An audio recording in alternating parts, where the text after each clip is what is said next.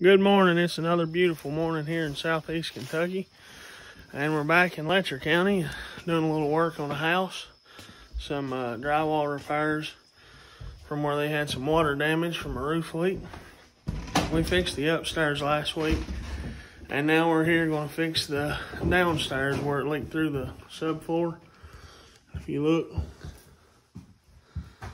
it's falling through pretty good. So got one piece, two pieces and uh, once we get them out, I'm thinking we'll have to replace this one too because it's kind of it's kind of sagging as well. So one, two, three, four, probably five or six pieces, and uh, we're gonna get right with it and see what we can make happen. Appreciate y'all watching. Stay tuned, and we'll get tearing this thing apart.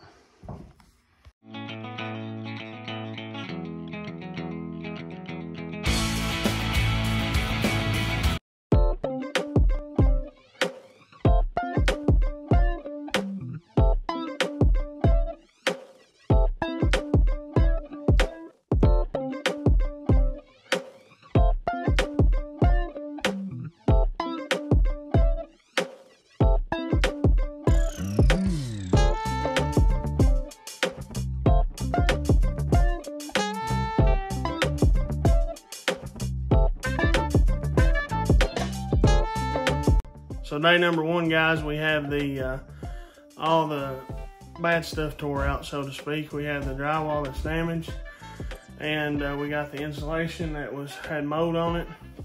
All the mold on the bottom and the mold on the floor joists for the upstairs. We sprayed with bleach to kill it. Uh, we use like a quarter cup of bleach to two cups of water. That's kind of strong, but we want to make sure it dies. And uh, there was a couple floor joists here we had to trim the bottom of them off of because they were sticking kind of down where they sistered two floor joists. And uh, we trimmed those that way the drywall would be more flush. The drywall beforehand kind of had a little bit of a hump in it and we didn't want that to be like that. So we took and went ahead and trimmed those up. But we're getting this knocked out. Now we have to take all this stuff to the dump we gotta go to Lowe's and get all of our supplies. And uh, we may do another job this evening, but I ain't sure yet. But we gotta swing by Lowe's, which is like 45, 50 minutes away, and get our supplies. And we'll be back in the morning. And Lord willing, we'll be putting insulation and hanging drywall up. What you got there, Zach? I got wild raspberries. Look at that, boys. That's why we love working out in the, around the sticks here in the mountains. I mean, you got lunch growing right in the hills here. Drywall again, guys.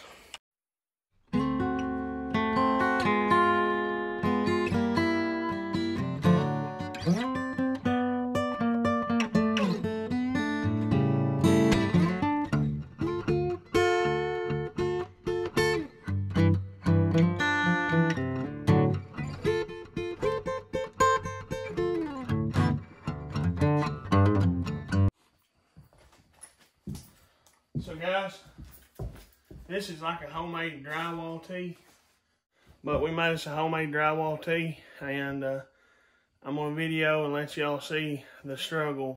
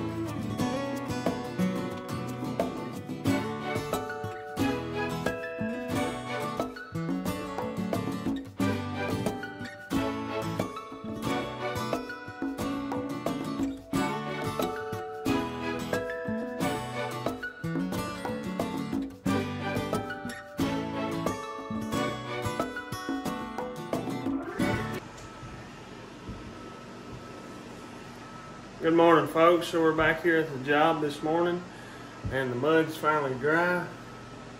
And uh, we're going to do a little light sanding over it, and then we're going to try to match in this stomp texture. Uh, we already covered up all the furniture and stuff with drop cloths. I'll show you guys that real quick. Those little plastic drop cloths work great for just keeping dust and stuff off the furniture. But uh, let's get right into this thing and try to do some stomp texture on this ceiling and try to blend it in to match the stomp texture from, I guess, uh, probably at least 20, 25 years ago. And, uh, I mean, the ceiling fan was from 1997, so I'd say the ceiling was here well before the ceiling fan, so let's get right to it, guys. Appreciate y'all watching.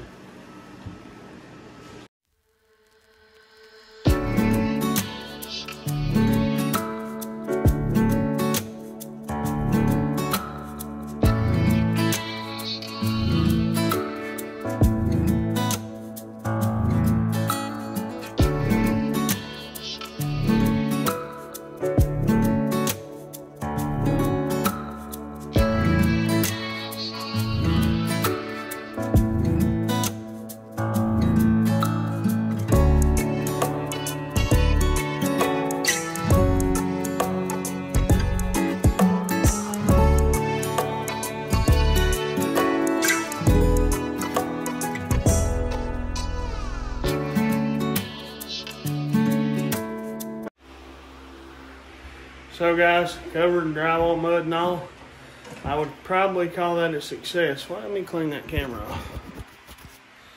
I would probably call that a success for my first time matching in stomp ceilings. Um, I think it turned out pretty good. I'll let you see here and see what you think.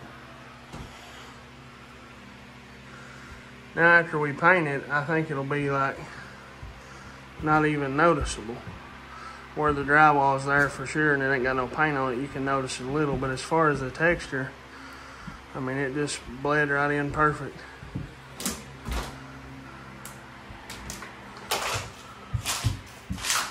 I figured I'd show you guys. We're to clean up. We'll let this dry about, uh, I don't know, be about 30 hours or something when we get back here. We'll paint it and put some trim up around the top. And this job will be done. I appreciate y'all watching. Hit that like button if you don't care. We'll see you on Monday morning.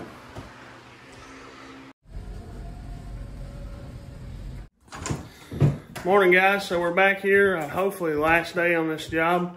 We had the ceiling finished and now we just got to paint all the ceiling and do some trim around the top. But we're to get right into it this morning. We ain't to play around, play no games. We're to get straight to work. So let's get into this guys.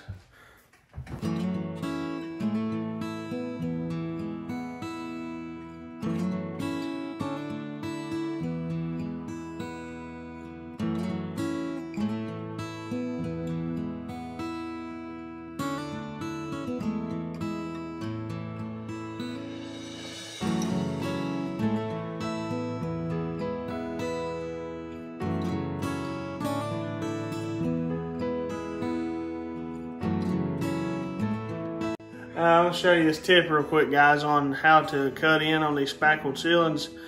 And uh, it's a tip that I kind of guess taught myself. I don't know if I've ever seen anybody else do it, but get a little paint on just one side of your brush.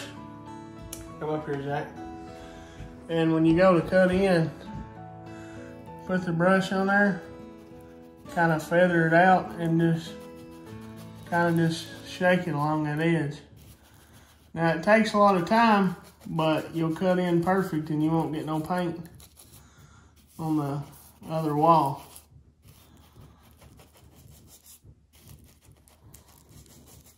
I hope you can see that.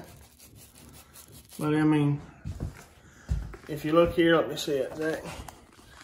If you look here, that spot's cut in, that spot ain't. No paint on the wall. Hope that tip helps you guys.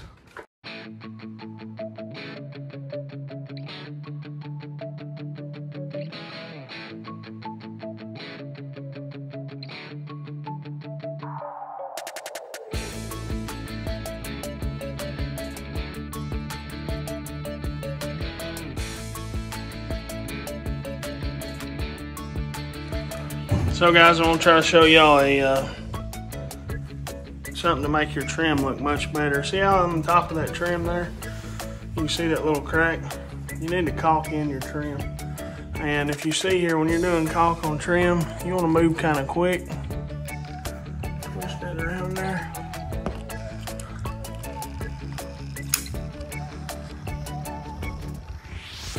And then once you get it on there like that, you just take your middle finger a gentle swipe across.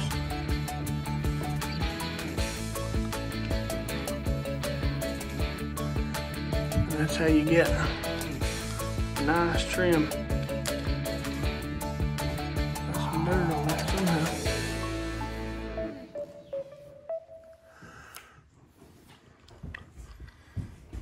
Got a little bit left over. Just have to take that and wipe it on a rag. It looks much better afterwards. Guys, that wraps this job up. We just got done vacuuming the floors for the client, cleaning the place up, putting everything back together. And uh, this job's finished. A job well done, in my opinion. It looks great.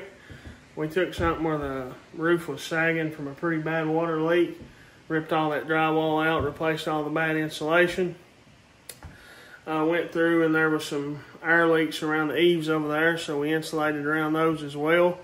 And uh, got her all put back together, painted the ceiling, trimmed it out, cleaned up, and now we're getting ready to head out. And we got to quote some more jobs, get some more stuff rolling. There'll be a lot of videos coming out here in the future. If you would, like as always, just hit that subscribe button. If you don't care, hit that like button. I do appreciate it very much. Helps me and the family out a lot. And God bless each and every one of you. Leave a comment if you have any questions or concerns. I appreciate it. God bless you. I'll See you later.